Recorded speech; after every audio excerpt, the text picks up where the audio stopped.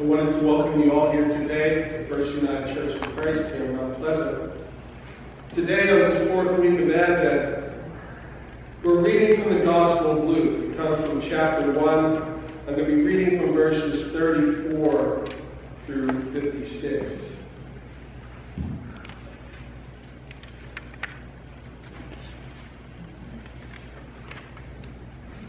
And Mary said to the angel,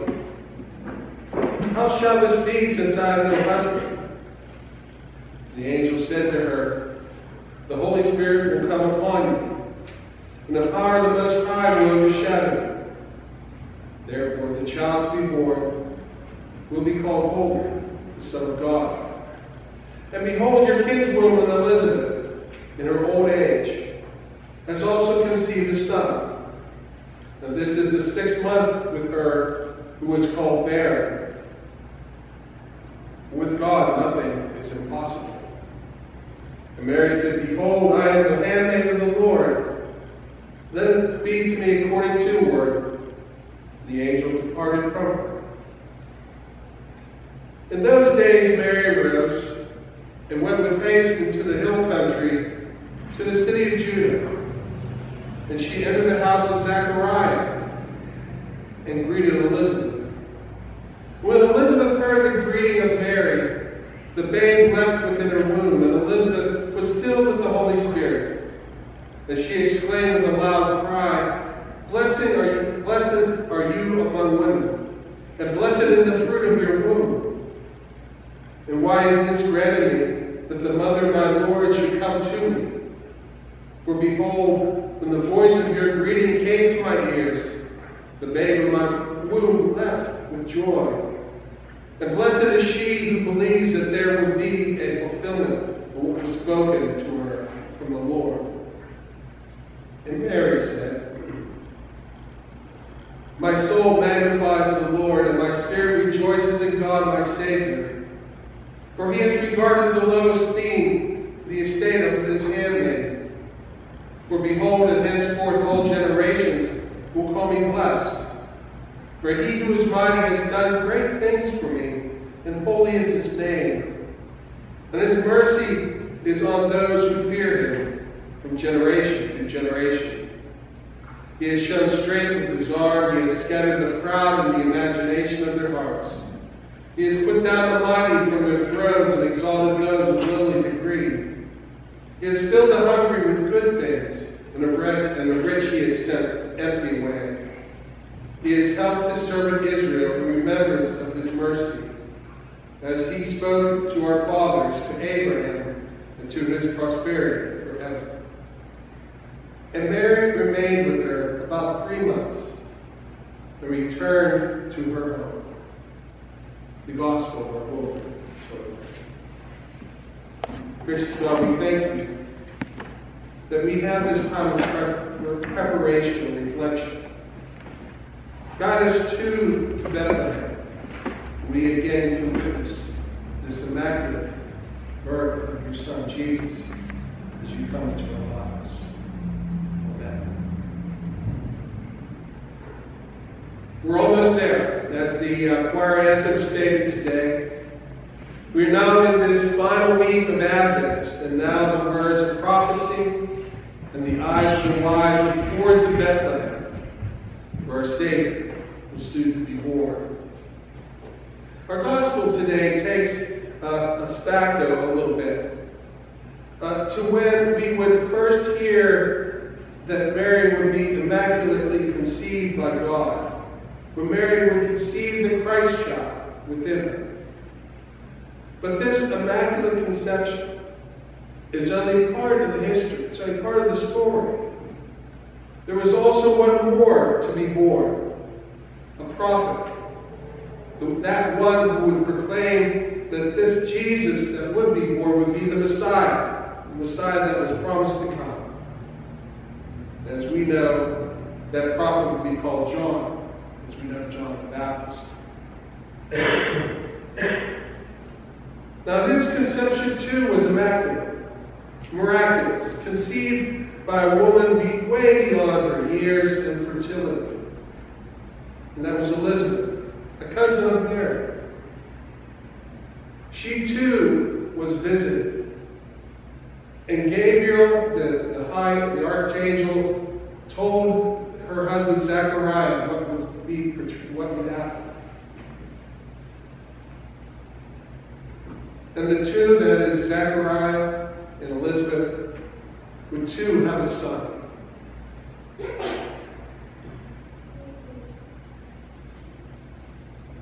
So when we think about this preparation of Christmas, we're not only thinking about the coming of Christ, but also the coming of his prophet, making the way, making the path straight.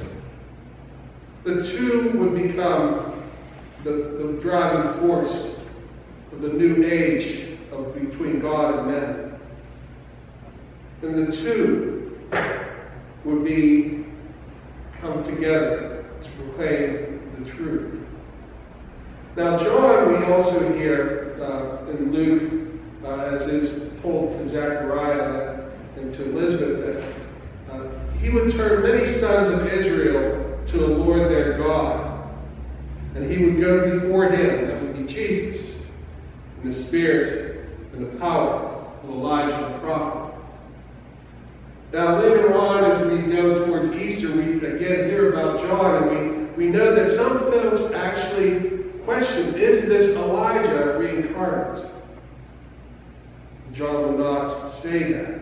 He would say he was not worthy, and he would also always put his focus on the true one to come, that be Jesus.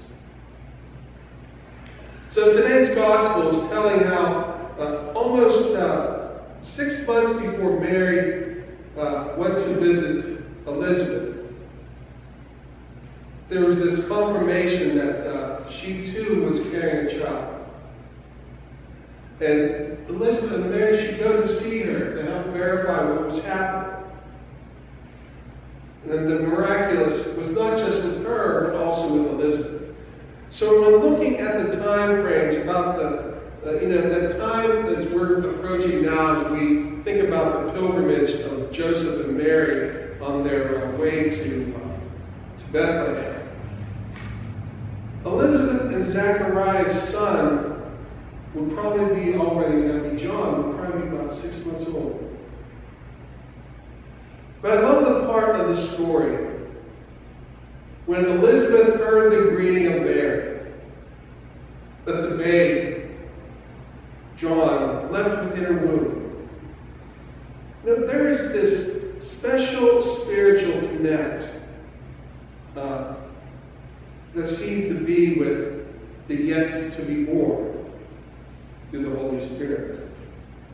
There seems to be a sense, a spiritual empathy perhaps, that transcends our understanding of consciousness.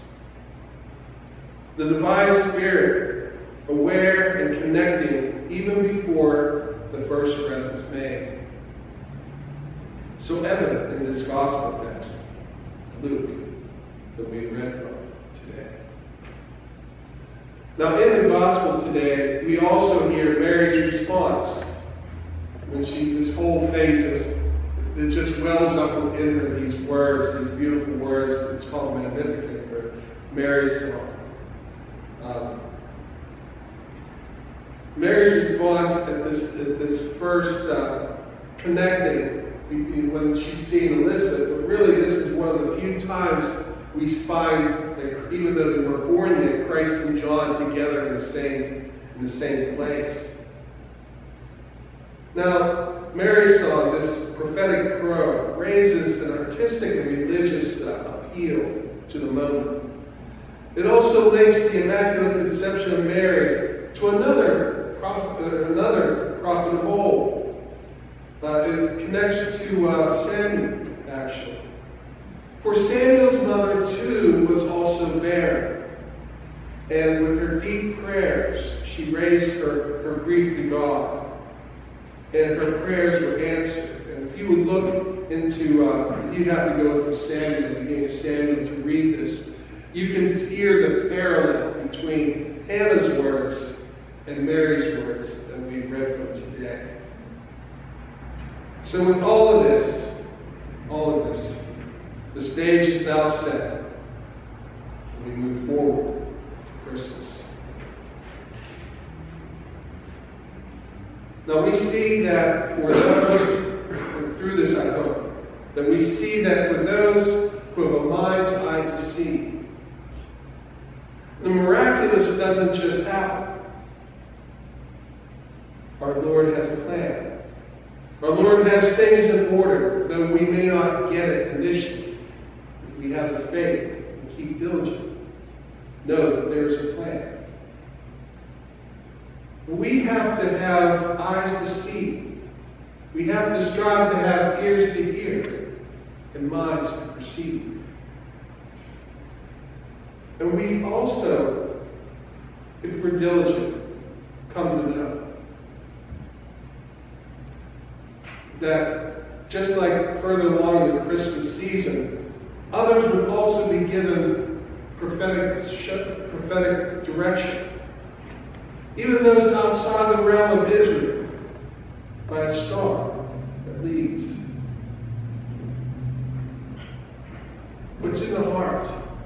It isn't the title that we're given this world. What's in the heart can empower us to see even those outside the faith, therefore can be led to Bethlehem, to Jesus.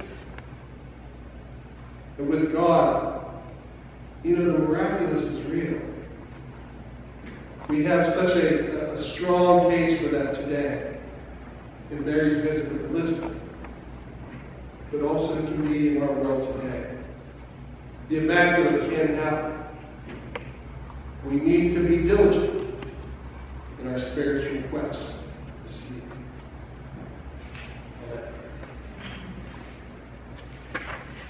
Shall we bow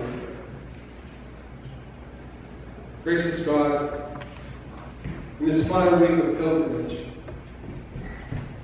help our hearts to be open, to revisit the story of Christ coming to us, but also open to hear how that story continues through our lives as we witness that which is of your divine nature and your love. Keep the Spirit within us and guide us, that we may be a light to the world too, that brings all to Jesus. Gracious God, there are those in this community now who need your help and healing. We ask your grace also to be upon them.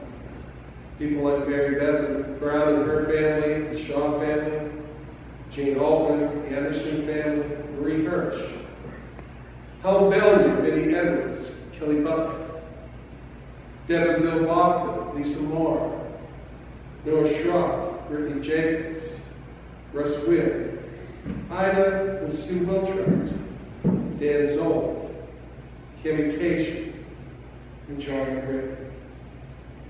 And gracious God, we also raise these names now to you in our hearts for your help, and for your healing.